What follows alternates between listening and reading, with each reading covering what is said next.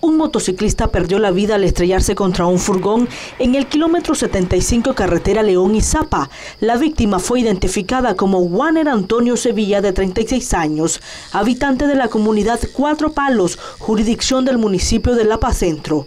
El hecho se registró la noche del pasado viernes 31 de enero. Según las investigaciones preliminares de la policía, la tragedia se dio cuando supuestamente el occiso invadió carril contrario, quedando debajo de las llantas del pesado camión que transportaba bagazo de caña.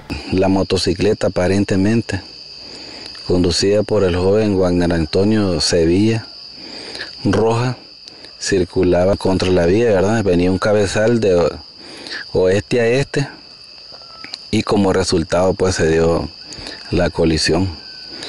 Este, nosotros siempre, ¿verdad? Lamentando este hecho los agentes de la policía del municipio de La Paz Centro y de León levantaron el croquis del lamentable accidente que enluta a otra familia del departamento. Durante el mes de enero, seis personas fallecieron en emergencias viales. La mañana del pasado 13 de enero, en esta misma zona de la carretera, se registró un encontronazo fatal entre dos camiones que dejó a una persona fallecida y grandes pérdidas materiales. Desde León, Verónica Palacios, Crónica TN8.